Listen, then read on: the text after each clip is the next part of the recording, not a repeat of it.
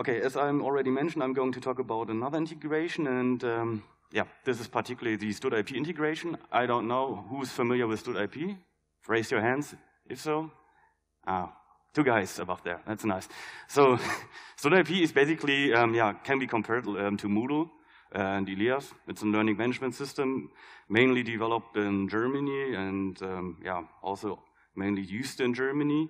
Um, I myself are a core developer of this uh, learning management system. I'm working at the ELAN e.V. in Osnabrück.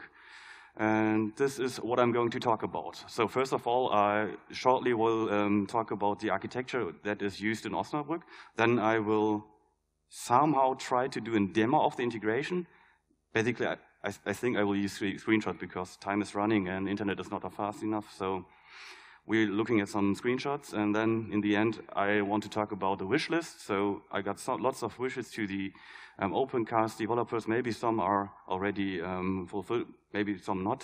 So we will see in the end what kind of wishes there are. So this is basically the architecture we're using in Osnabrück. So we got Stud.IP as course management system or learning management system.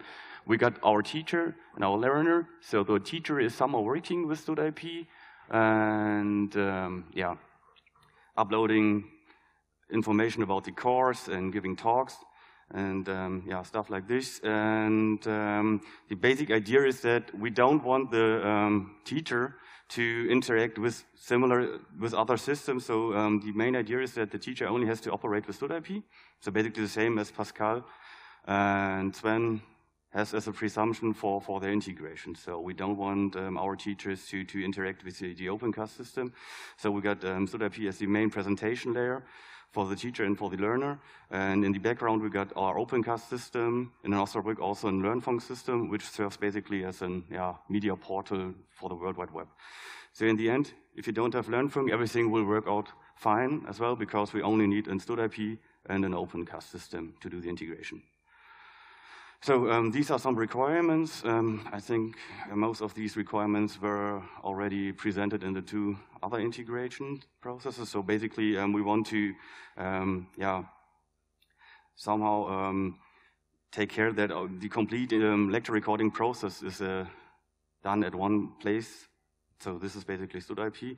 We want that all metadata that is relevant for the recording process is automatically changed and not yeah, that there are no redundancies at no point in time, and we want the course management component, so Stud.IP, as the central point in that process. Okay, so here's some nice screenshots. Um, this is basically the main component for a student or for the teachers. This is the course view. What we see here is um, basically, this is a so-called Stud.IP course. Maybe, maybe I'm a little bit brave and switch to the live demo. Oh, computer doesn't. Okay, nice.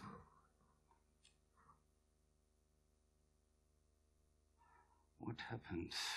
Screen is somehow nice.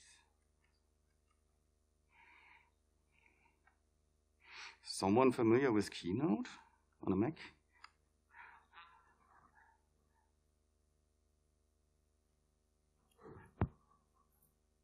Why is this stuck right now? I'm pushing, ah.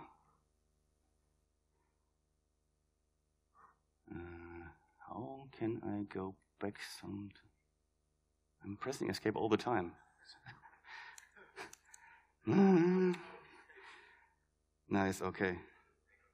Yeah. So if you are interested in the demo, get in touch with me in the coffee break. I will show you everything about the system. Nice.